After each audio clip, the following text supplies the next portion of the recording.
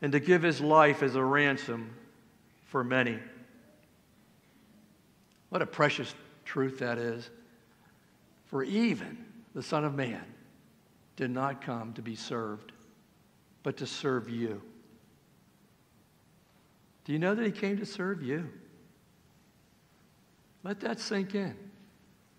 And to give himself as a ransom for you, for me. This is why we praise him.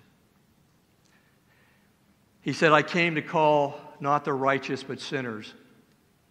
What he was saying on that occasion was, I, I, I did not come to save the people who think that they're fine without me. I did not come to save the people who think that they're in good standing by their own good works. I didn't come to serve them. I can't because of their pride.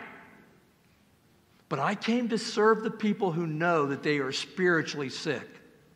I came to serve those who know that they are so spiritually lost.